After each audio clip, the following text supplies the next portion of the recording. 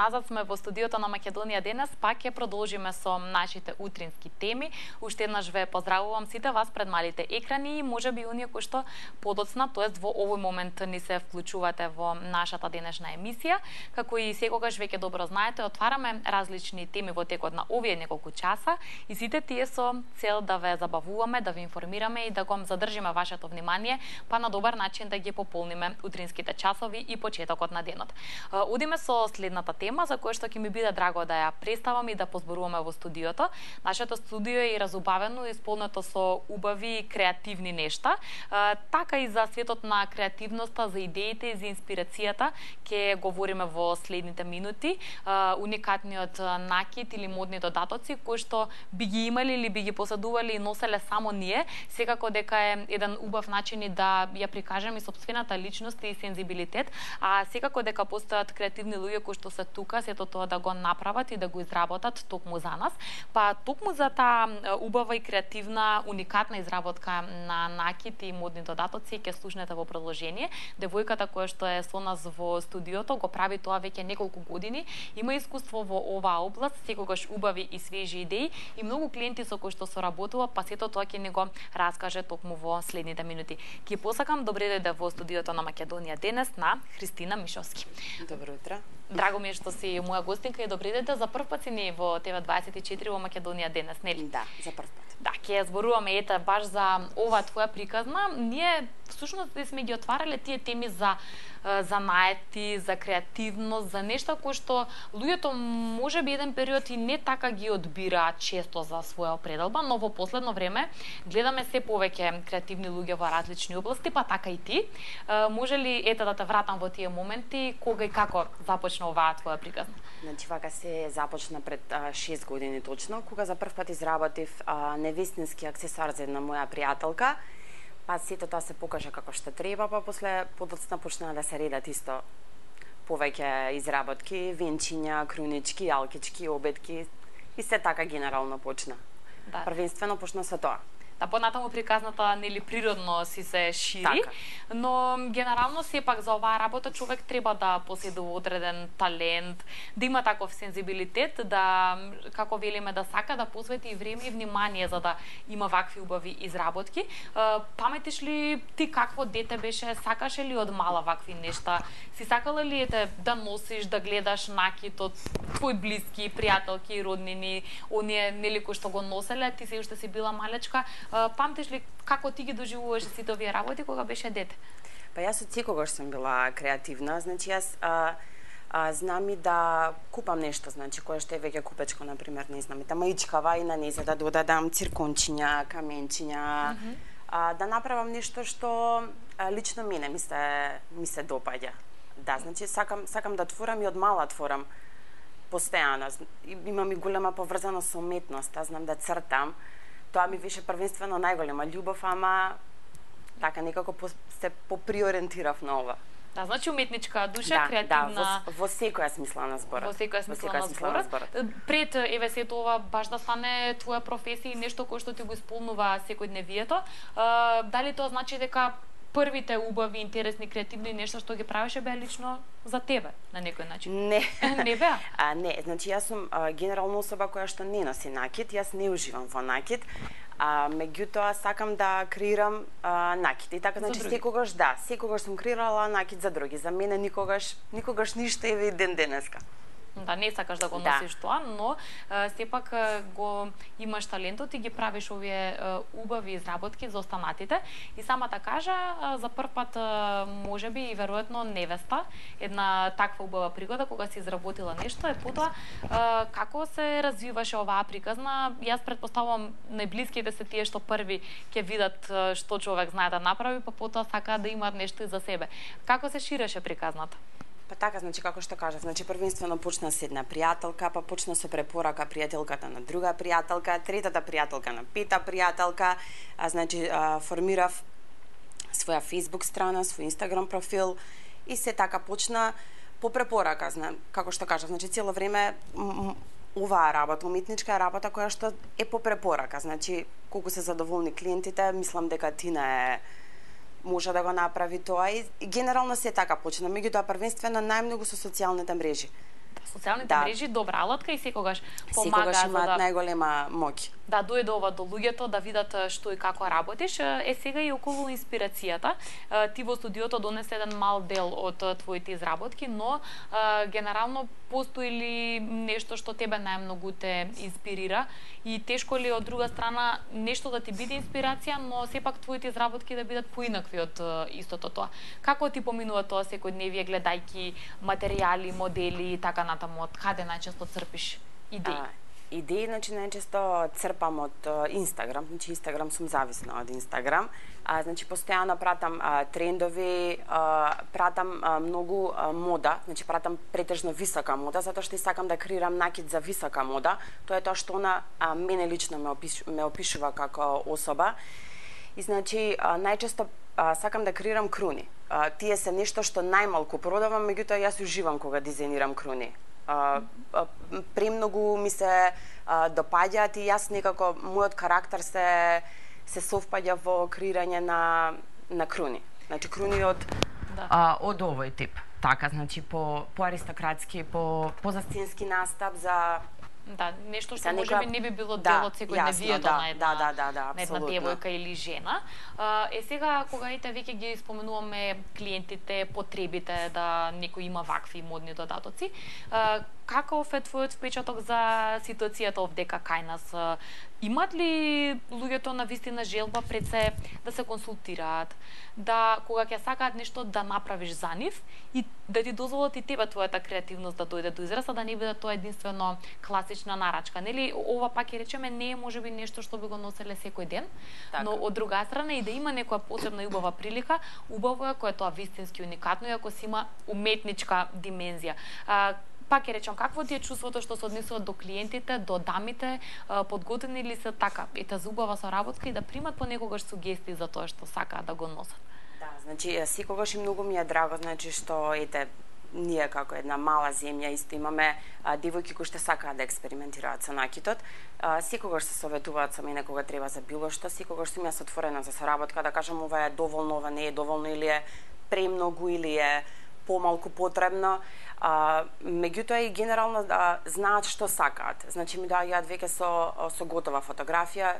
А, Кристина сакам да биде ова вака, вака, вака. Меѓутоа ако вие ми сметате дека нешто не е во ред, не би ми се вклопило со со фустанот или со со неко било да. кој друг дел од кој што планира да го носи, ќе те молам да го да го поправиш да го да коригираш или нешто слично. Меѓутоа генерално и знаат а, знаат што сакаат, што бараат знае некогаш за тебе да биде тешка таа комуникација, нормално не е лесно кога човек треба да задоволи нечи вкус или да оствари нечи очекување, нели како што велиш, ќе добиеш одредена нарачка, твоите клиенти си имаат нешто во својата глава и сега пред тебе предизвикот дали ќе успееш тоа баш во таква форма да, да им го да, донесеш и да им го исполниш. Има понекогаш можеби непријатни ситуации да биде навистина тешко да да се да разбереш да. што клиентот всушност сака ти да изработиш за него. Да, имам значи такви ситуации кога кога навистина не знам што што треба всушност да изработам па ми се случува да направиме една, па направиме уште една. Значи тука сме да да коригираме за клиентите додека не го добиеме оној финален продукт кој што го имаме замислено. Меѓутоа со оглед на тоа значи дека ова е рачна изработка, а, па макар и да е моја изработка, јас не можем ништо да повторам да биде идентично. Значи сепак ќе се разликува во нешто, па да се едни обетки, не можем да ги направам идентични како како минатиот пат. Меѓутоа да, тоа ми е тоа ми е најтешко, да кога оставаат на мене ми е Нај... а, ми е најтешко да или кога најтешко. кога имаме нешто слично, кога да, на вистина не знаеме што сакаме и да а, треба да вклопиме повеќе стилови во во едно, исто и тоа ми е доста тешко. Да, ете ги спомена стиловите, според овие тука кои што ги имаме производи и изработки, гледам дека сепак доста се разликуваат едни од други. Лично и ти кога нели самата ги правиш своите изработки, а не по нарачка, сакаш да експериментираш со различни стилови или да. сепак повеќе сакаш да сето тоа наликува едно на друго во смисла да се јасно да се познава твојот печат и јасно да се знае дека еве ова си го направила токму ти. Како како си ги организираш лично на твоите креативни а, изработки? Јас секогаш значи мешам а, а, повеќе повеќе стилови, сега не знам еве чисто ќе кажам конкретно за ташнава, значи овде ми се а, повеќе стилови а, кога ја креирав, а, ја креирав значи да добиам а, чанта која што би била за а, мала доза на елеганција, мала доза на рок, мала доза на панк, а, така да се да се вклопат повеќе а, повеќе стилови во а, во едно. Mm -hmm. а, значи најчесто така така така сакам да да креирам. Значи да пак пак како што ви кажав да тоа биде а, накид кој што ете за за сценски, за фотографирање, за mm -hmm Може би да не стил. толку секојдневен како реков, да, и кога да. се комбинираат стиловите, може би и повеќе различни девојки би го носеле тој моден додаток со различен сензибилитет или различен стил.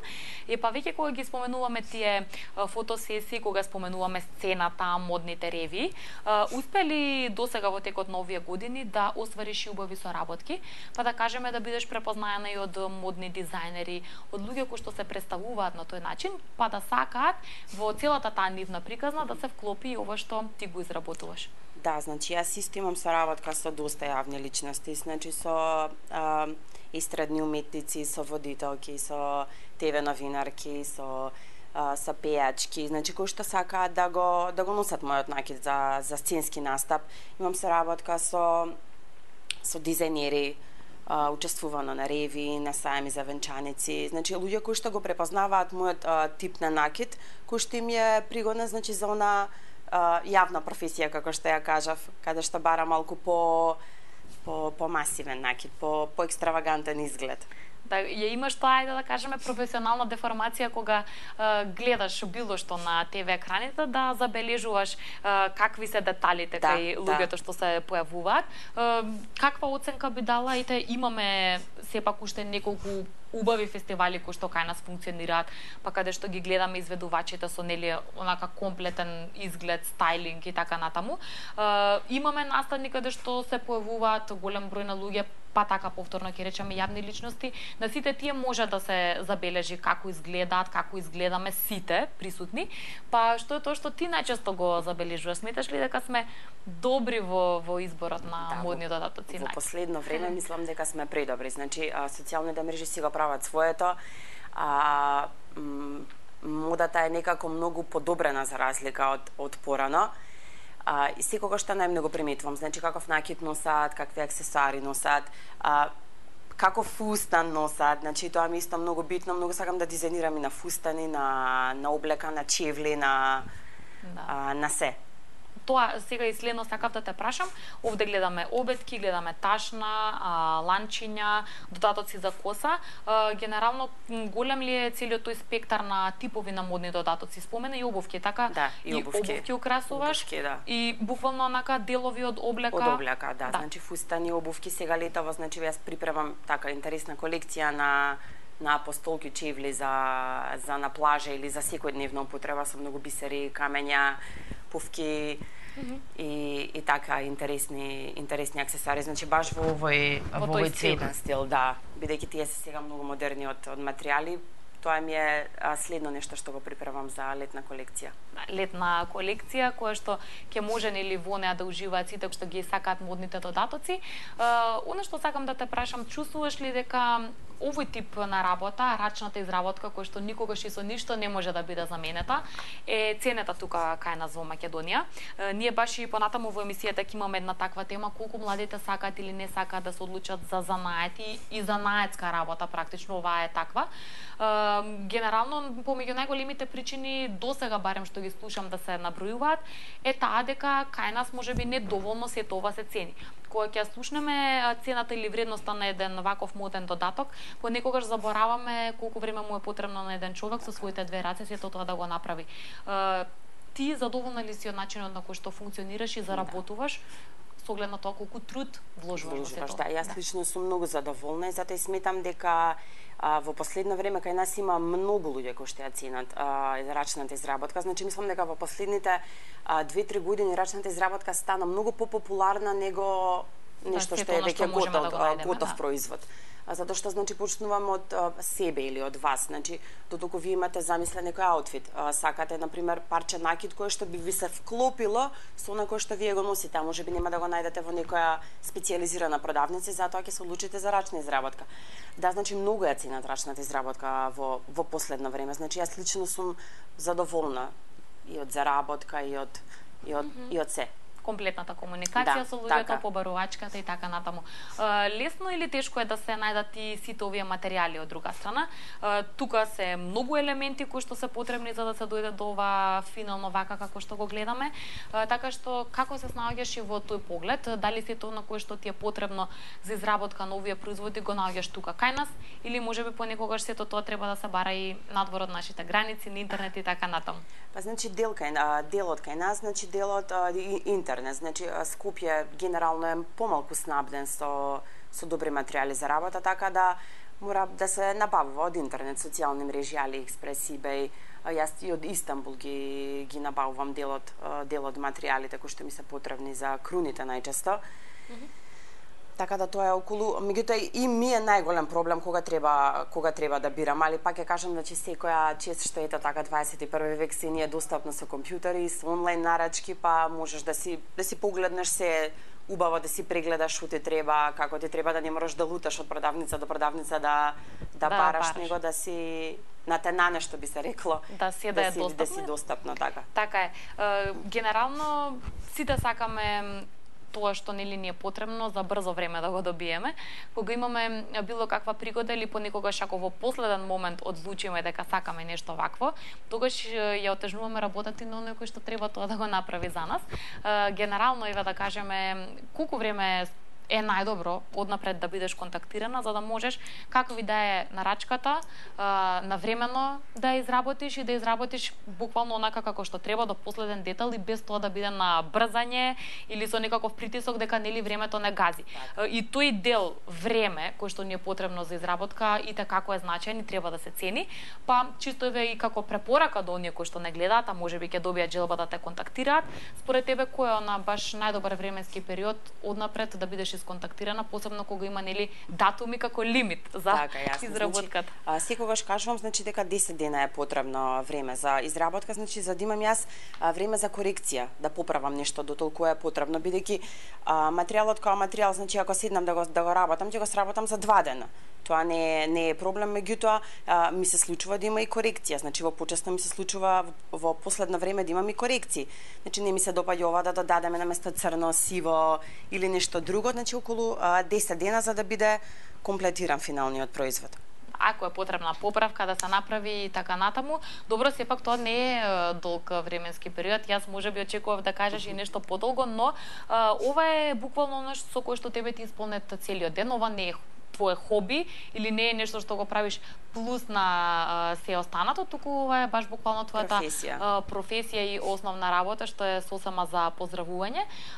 Имаш ли можеби буквално своји омилени парчиња кои што велиш не носиш накид, но сепак ги сакаш, ги чуваш, можеби си ја чекаат вистинската пригода. Да, ти сподели со нас дека можеби круните ти се број 1 и нивната изработка, но баш онака буквално посебно имаш ли одредени изработки кои што сакаш да ги чуваш за себе, кој што е да така ти се посебно драги. Да, пак ја кажам круните. Да, повторно. значи а, повторно круните се она за кое што нешто најмногу ме врзува. Значи како што кажав круните а, ми се повеќето за изнаемувам, а, за изнаемување. Меѓутоа нај а, нешто што најмногу сакам да креирам а, се тие.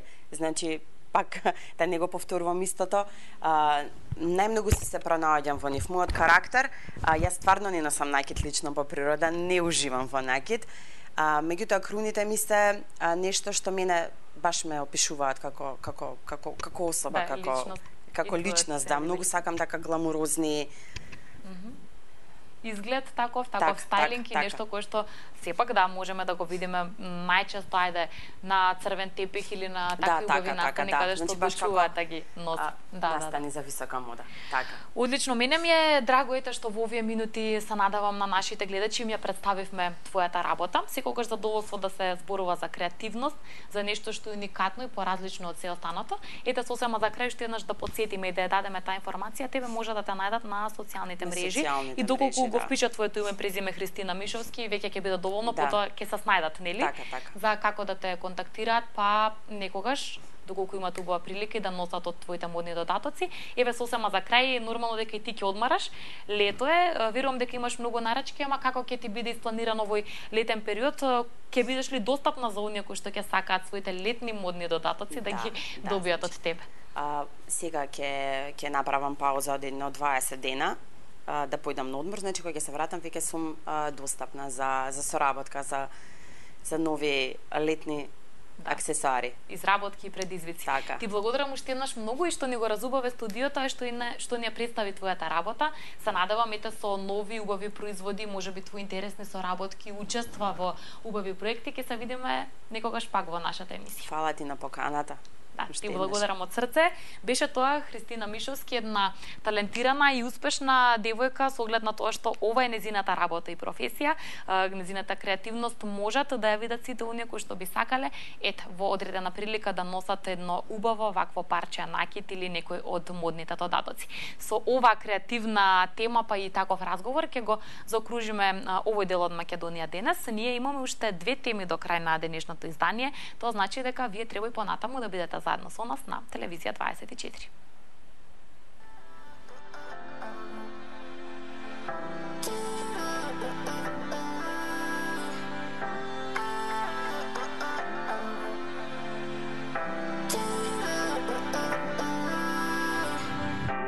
I saw you looking at me.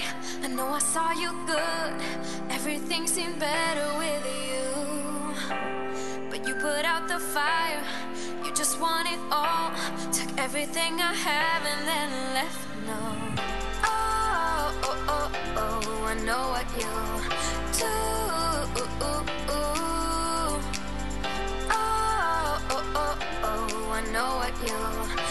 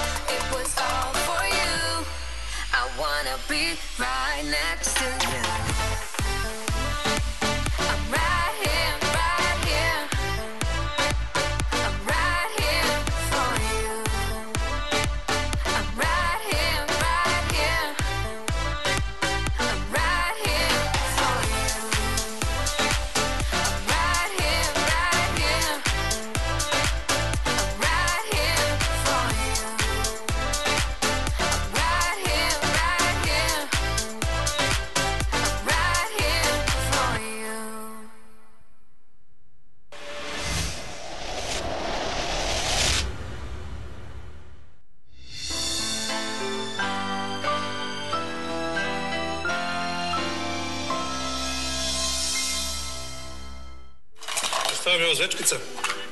A to je moja proteza. Ne, ponekad je skinem. Malo me bole. Bole desni.